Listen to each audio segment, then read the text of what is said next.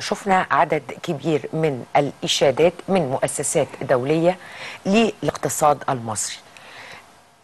عايزة أقول الإشادات دي يعني إلى أي مدى بتأثر على الاقتصاد المصري؟ أيضا لماذا كل هذه الإشادات في هذه الفترة؟ ده دلالته إيه؟ آه، من حيث المبدأ هل لهم الحق في ذلك ولا لأ؟ وهل بيجاملونا ولا لأ؟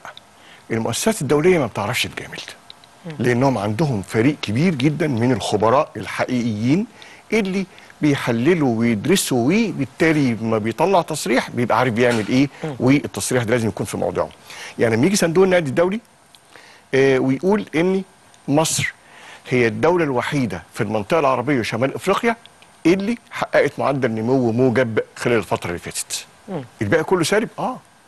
فده شيء طيب؟ آه. الباقي السالب هل هو في نفس وضعنا ولا السالب في دول كبرى اقتصادات كبرى ما تفرق. بالنسبة لي آه طبعا هقول لك. أنا بس الأول باخد على مستوى المنطقة العربية.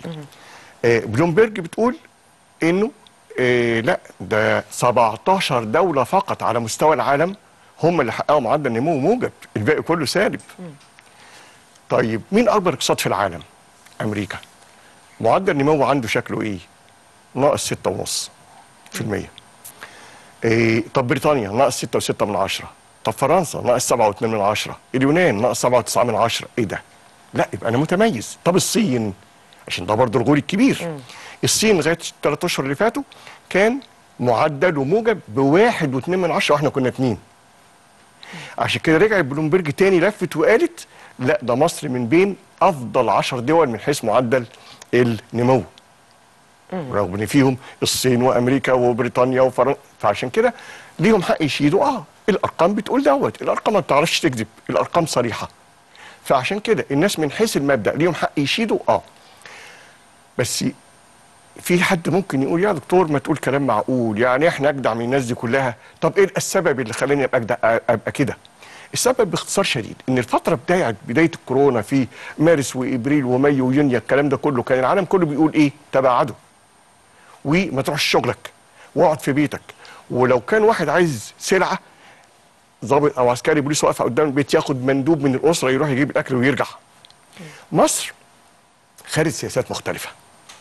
قالت أنا عندي مشكلتين. يا ترى أحسن أموت من الكورونا ولا أموت من الجوع؟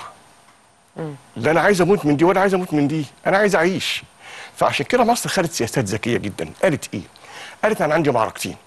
معركة الكورونا وهتصدى لها بالشكل الطبي والعلاجي و و وفي نفس الوقت عندي معركة التنمية. فالدولة خدت فكر طيب قوي. قالت السيدات والفضليات اللي تحت اللي عندهم أطفال تحت ال 12 اقعدي ربي ابنك وبنتك. بقيه فريق العمل هنقسمه نصين. نص يشتغل نص الأول من أسبوع ونص تاني يشتغل نص التاني. وبالتالي الإنتاج اتأثر. ما تأثرش.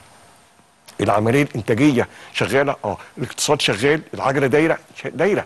فده خدم مصر كتير في الفترة دي وخلى المؤشرات بتاعته تبقى طيبة وخلى الناس كلها تشتري دي خاصة إن في كتير من حقوق من الأعمال في الحكومة و كلنا مدركين إن في بطالة مقنعة نتيجة فترة من الفترات كنا بناخد سياسات اجتماعية بتغلب على السياسات الاقتصادية. يعني المصنع اللي المفروض يشتغل ب 200 واحد كنا بنشغل فيه 12000 واحد.